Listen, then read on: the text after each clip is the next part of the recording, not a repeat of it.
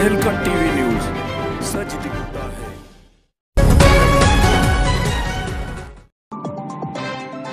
Meera Bhayandar सिवार garden Kali माता मंदिर से हर साल की तरह इस साल भी बड़े ही धूमधाम से पालकी पद यात्रा निकाला जा रहा है। सिरडी के लिए और बताया जा रहा है कि सारे श्रद्धालु पालकी लेकर पैदल चलकर यात्रा करके श्रीडी पहुँचेंगे। इस कार्यक्रम का आयोजक करता Lata S S Rai, S S Rai Akash से लेकर और भी कार्यकर्ता शामिल है। Bureau report, Tehelka TV news. देखे कुछ तस्वीरें।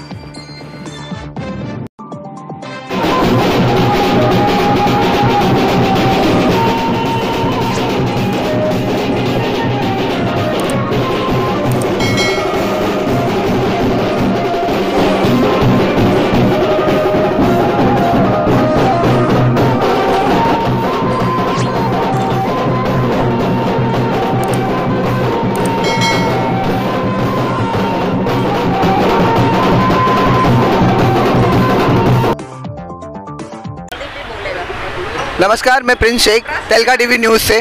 जैसे कि आपको पता है कि ये पद यात्रा निकाला जा रहा है यहाँ से शिवार गार्डन मीरा भाईंदर शिवार गार्डन से। तो आइए हम जानते हैं कि ये पद यात्रा क्यों निकाल रहे हैं और कितने साल से निकाला जा रहा है। सर। अपना पद यात्रा ये अपना चार साल ये चौथा साल है।